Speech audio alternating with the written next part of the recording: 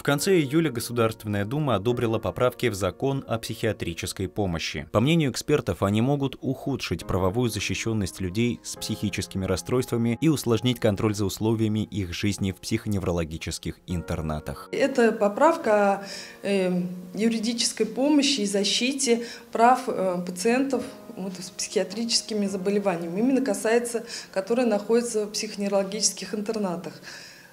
Не скрою, что люди в психологических интернатах, они, ну, по сути, бесправны. За них все решает единственный опекун в лице руководителя ПНИ. То есть он решает, пойдет он в гости к своим родителям или не пойдет. То есть будет он, выйдет на сопровождаемое проживание или не выйдет. Волеизъявления никто не считается с попавшим туда. Поправками в закон упраздняются независимые службы защиты прав пациентов ПНИ, которые принимают жалобы пациентов и направляют обращения в органы власти, в том числе в суд. Защищать права пациентов будут региональные органы власти, омбудсмены и прочие госструктуры. А главное, чтобы временно покинуть ПНИ, к примеру, для визита к родителям на выходные, пациенту потребуется разрешение директора интерната, причем отказ обжаловать нельзя. Мы очень ждали поправки в 181 законодательстве, они вышли. Это сопровождаемое проживание, сопровождаемая трудовая занятость, социально полезная занятость. И следующим как бы, пакетом мы ждали именно изменения в этом законе о психиатрической помощи и законы распределенной опеки. И мы думали, что это будет все вместе в комплексе принято, в едином порыве. Но почему-то законодатели решили все расчленить. По данным на 2019 год, в России около 650 психоневрологических интернатов, в которых проживает свыше 150 тысяч пациентов. В Оренбурге 6 таких учреждений общей вместимостью около 1800 коек, которые всегда заполнены.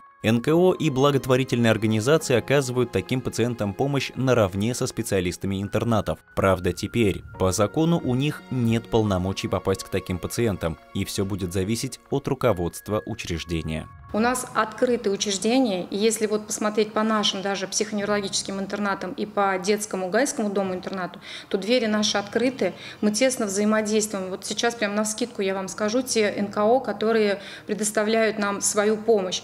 Это автономная некоммерческая организация «Маяк», а, это не э, диаконический центр прикосновения в городе Оренбурге. И я могу этот перечень еще очень много говорить о нем, и никогда не было такого, чтобы какая-то некоммерческая организация организация обратилась к нам за помощью, чтобы наш интернат открыл двери для того, чтобы посетили. Поводом для беспокойства стала трагедия в Санкт-Петербурге, произошедшая в апреле текущего года. По словам руководителя Центра паллиативной помощи и учредителя благотворительного фонда помощи хосписам «Вера» Нюты Федермессер, из-за ненадлежащего ухода в ПНИ скончалось семеро детей от истощения. По этой причине 151 российская НКО и более 90 тысяч граждан обратились к президенту Путину с просьбой отклонить поправки. Развитие общества определяется именно отношением к самым незащищенным ее гражданам, поэтому и я, и сенаторы, которые работали над законом, внимательно отнеслись к ее обращению по поводу поправок. Проблемы, которые она обозначила, подняты правильно. Часть поправок учтена в законе в большей части, я бы сказала. И я также поддерживаю необходимость продолжить работу над уточнением законодательств,